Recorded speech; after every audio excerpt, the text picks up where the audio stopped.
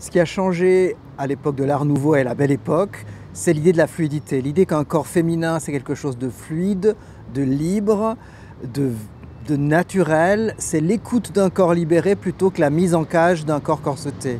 Très concrètement, on verra apparaître dans les années 1900-1908 la fin du corset de Paul Poiret, euh, les débuts de Jeanne Lanvin quelques années plus tard, et même Coco Chanel beaucoup plus tard, qui n'a rien à voir avec l'Arc Nouveau, mais qui, qui continue sur cette idée qu'un corps c'est quelque chose de libre, qui se défait de ses conventions comme on se défait d'un corset.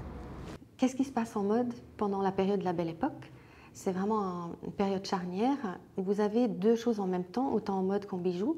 Vous avez à la fois des formes encore traditionnelles qui continuent et euh, des nouveautés qui s'installent à cause du contexte socioculturel et évidemment aussi esthétique.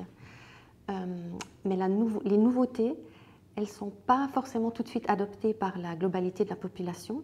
C'est des choses un peu euh, plus, comment dire, euh, originales qui vont être adoptées par les muses du moment, c'est-à-dire les actrices comme Sarah Bernard, euh, des demi-mondaines, des mondaines, des, personnalités publiques.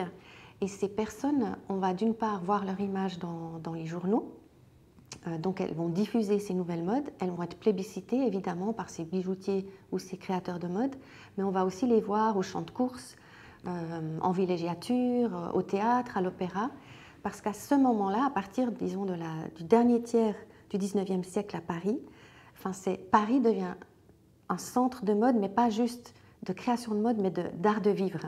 Et donc tout ce qui est parisien, d'aller au bois de Boulogne se promener, l'opéra, va devenir une référence culturelle, une, référence à suivre. Et il y a un mélange qui s'est fait entre la haute bourgeoisie, la moyenne bourgeoisie et l'aristocratie, et c'est le mode de vie bourgeois qui est publicité et qui devient le modèle. Et dans ce mode de vie bourgeois, c'est là qu'il y a des choses plus traditionnelles, et c'est pour ça que c'est les femmes qui sont hors de cette norme qui vont être porteuses ou images des nouveautés. En bijoux, par exemple, vous avez toujours le, bijou traditionnel qui consacre aussi les liens familiaux ou les, les, trésors euh, liés à des grands noms, plutôt diamants blancs, etc., platine. Par contre, vous aurez des nouveautés avec quelqu'un comme Lalique, euh, vert vert aussi, qui vont, eux, vraiment expérimenter avec des nouveaux matériaux, parfois pas précieux, mais la manière dont ils les traitent va les rendre précieux, et beaucoup évidemment se tourner vers une inspiration de la nature, donc des insectes, des oiseaux, des fleurs, des thèmes aquatiques. Et euh, c'est même des figures féminines comme on trouve dans, dans les affiches de, l'Art Nouveau et ces lignes plus sinueuses.